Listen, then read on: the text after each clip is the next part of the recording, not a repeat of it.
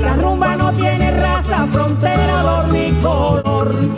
Lo mismo se baila en casa, en patio o en corredor. Pero si se baila en tono resulta mucho mejor. La rumba es lo más fecundo que ha creado con su dulzura. La rumba es como un bichito que pica muy suavito. Es algo así como un rito de fe a San Benedito. Pero resulta muy picantico su ritmo calentico.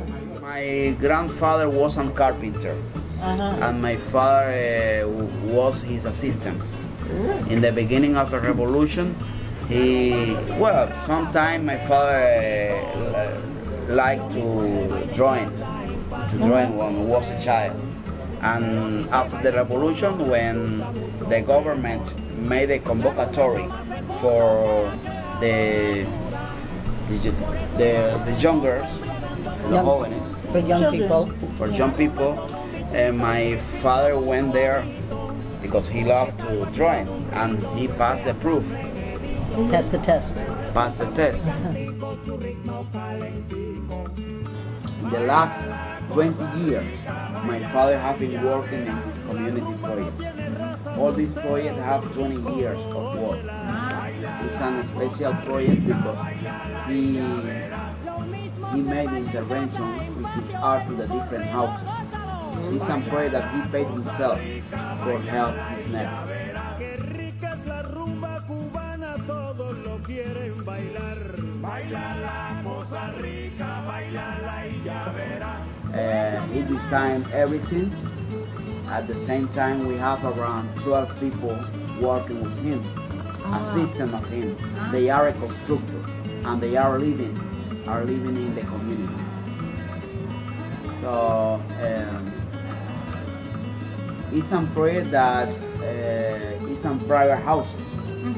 Of course, it's a democratic project, and before to make something, the owner of the houses should be accepted to participate in the project. And my father asked to, to the owners, what do you like to do in this home? And my father prepared the budget, the idea, and began to work.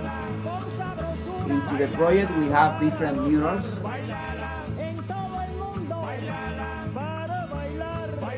I graduated in medical doctor, but at the same time, in my free times, all uh, every, all all the time I make art. We work all the time. Ah, never. It's always a Never here. Uh, n- Yeah, yeah, no, uh, anything here is Yeah, finished. yeah. We don't know when it will be finished. the artist all the time ne- made a new creation. How many are in the team?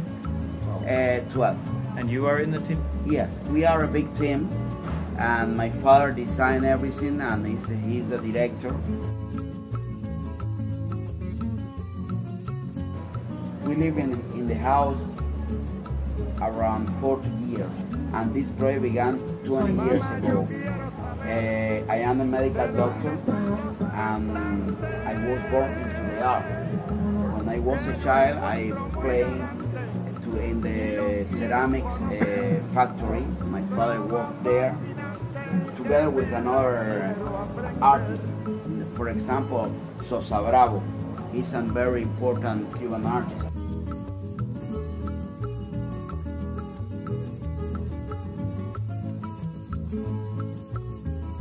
In Panama, in Panama, uh, Paraninfo University, in the University of Panama. Uh, my father made the sculptures, and in Dominican Republic, And everything that you're doing here, uh, does it cost money? No, it's free. it's a project free for everybody, open. But Sí, it pero costs. para, para ustedes sí cuesta, cuesta dinero. It's a very expensive project. We paid the project. The family? Yes. Fuster's art is world renowned, and they they the little watercolors may sell for anywhere from sixty to a hundred. The uh, oil paintings may go anywhere from 400 to a couple of thousand. And instead of just pocketing all of the money that he's earned as an artist, he has invested it in the community. So anybody who needs or wants something of his art or needs their roof repaired or anything like that, that they pay for that out of what he gets as an artist. It's his way of paying back to the community. Children in the schools to teach them art? Sometime I, I receive the children Uh-huh. around uh, six times a week a month.